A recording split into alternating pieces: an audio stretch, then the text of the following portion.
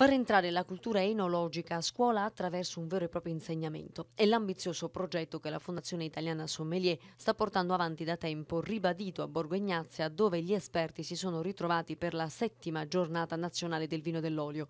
Dibattiti ma anche la degustazione del buon vino per celebrare l'autentico Made in Italy e raccogliere adesioni al progetto di ottenere lezioni sul vino nelle scuole alberghiere dove questo insegnamento non esiste. Il vino è cultura ed arte, ne siamo consapevoli tutti e quindi stiamo cercando attraverso vari meccanismi di mettere il vino a scuola. Nell'ambito dell'incontro il Presidente della Regione Puglia Emiliano è stato anche insignito del prestigioso titolo di sommelier d'onore, quale grande promotore della Puglia esportatrice di vino. Ma la geografia della produzione sta cambiando in Europa, condizionata dalle variazioni climatiche e dal riscaldamento del pianeta, che sta rendendo accoglienti per la vite luoghi per essa sino ad ora inospitali come la Gran Bretagna.